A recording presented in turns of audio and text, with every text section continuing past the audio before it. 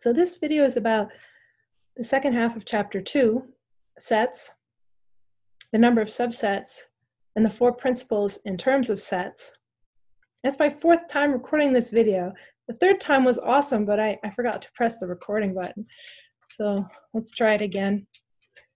If you're going to read any sections of the book, you may really need to read this one because there's a lot of notation in terms of sets and it's pretty dry. We say it's very formal, but it's really useful. And so you just have to see what it looks like on the page.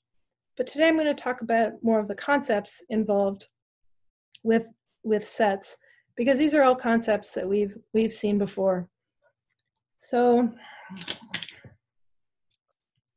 set is just a handful or a collection of objects. And the order of the objects doesn't matter. You can mix them all up. But they all have to be different from each other. So in this case, I picked six different pieces of yellow Lego. The cardinality or size of the set is the number of things in it. So in this case, the cardinality is six.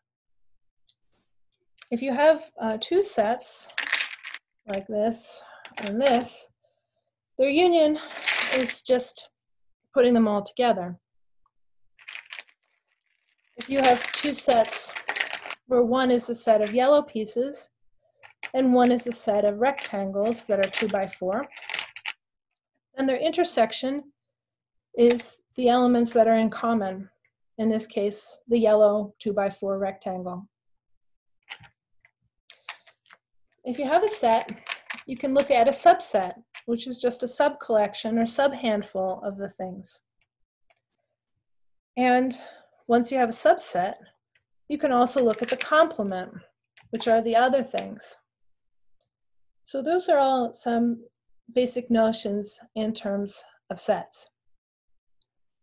The biggest theorem in this chapter is theorem 2.5.16, which is about the number of subsets.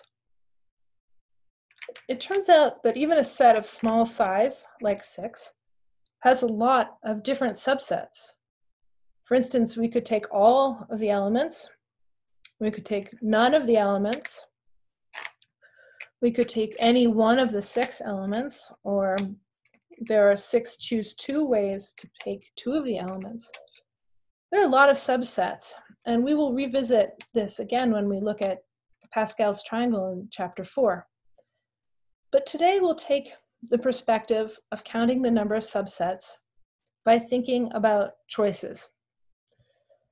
So for each element, we have a choice. Is it in or out? for instance, maybe this one, we want it to be in. And this one, out. This one in, this one in, this one out, and this one in.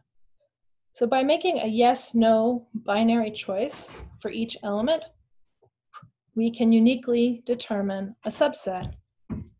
And each subset can be found in that way.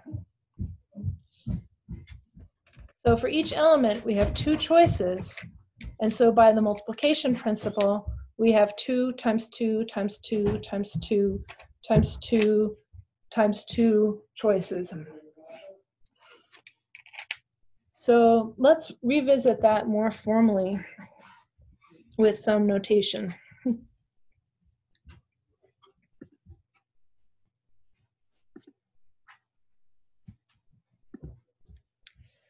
Okay, so chapter two, sections five, six, and eight, sets, the number of subsets, and the four principles in terms of sets. So theorem 2.5.16, if S is a set with n elements, then the number of subsets of S is 2 to the n. So for example, when n equals 3, then there are 8 subsets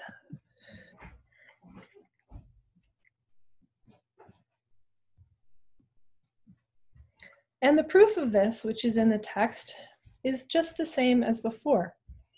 We will take our set, sets we're going to write like this with very um, curly braces, and then the elements A1, A2, and A3 are inside those curly braces.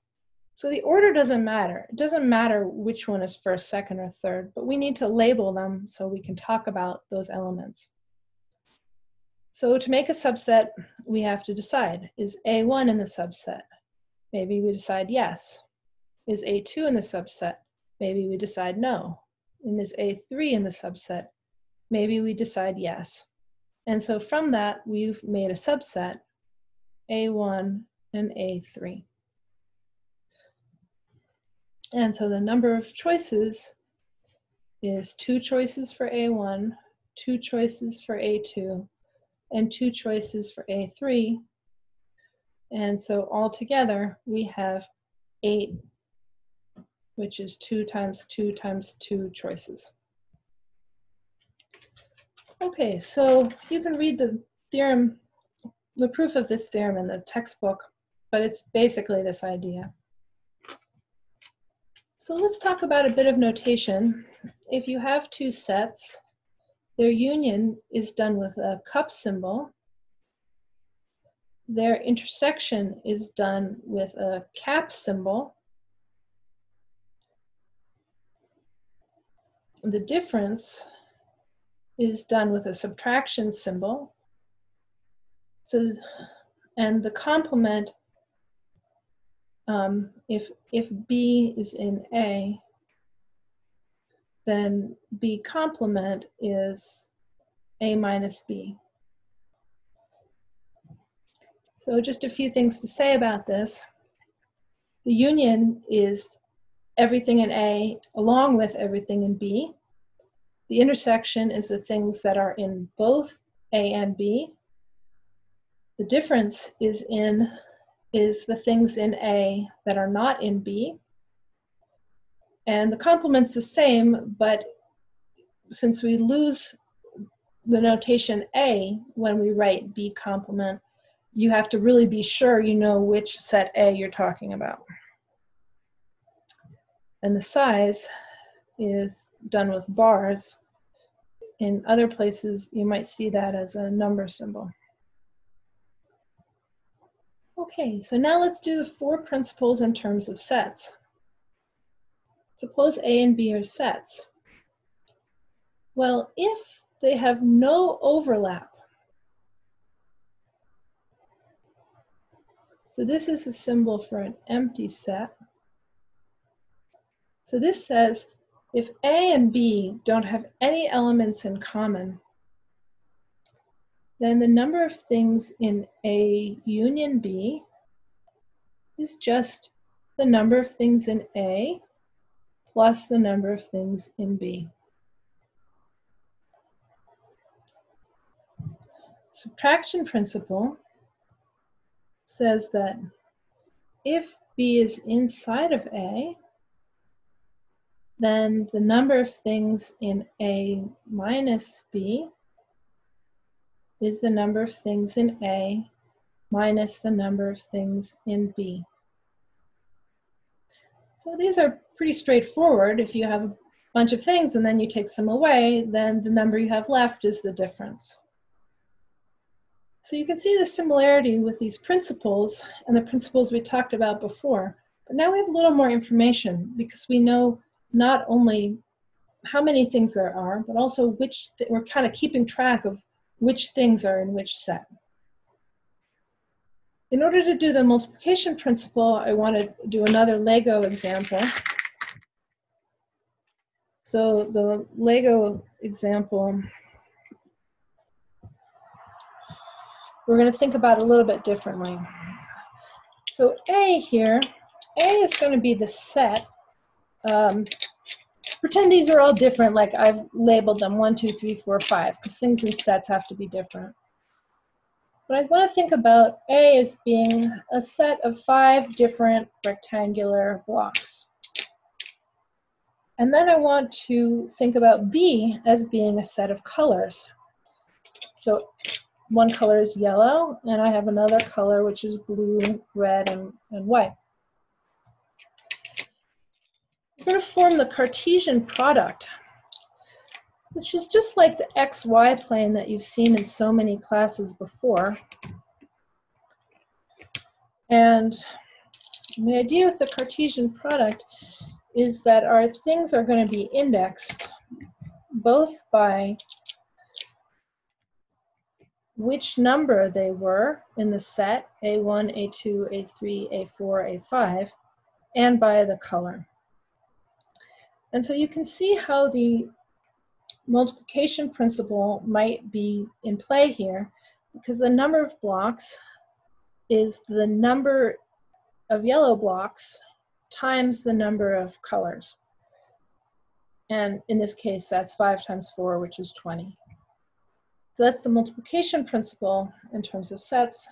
The division principle is that if you if you have a set of 20 things and you can divide it into columns or colors, then the number of things in each column is going to be total number divided by the number of columns. So that's the intuition there. And let's let's see how we're going to write that a little bit more formally, a little more complicated now. So the multiplication principle, in order to do that, we need to look at the Cartesian product, which is A cross B. And A cross B is the set of pairs of things, little a, little b, where A is in A and B is in B. Just think about this like the XY plane. A is the choices for X, B is the choices for Y, and we're making a wall, um, a grid of choices for X and Y in two dimensions. And so the multiplication principle says that the number in the Cartesian product is the number in A times the number in B. So this is an example of what's called set builder notation. This bar here just means these are conditions on the elements that we've described at the beginning. Division principle, maybe I won't write down. You can look it up in the text. But the idea is that we make a set partition if we can divide A up into a bunch of other sets. So if we can divide A up into a union of K different sets, and if each of these sets has size M, then we know that M is the number of things in A divided by the number of subsets. Oh, and I should have added here, but I'm kind of out of space, that the these subsets have to have trivial intersection.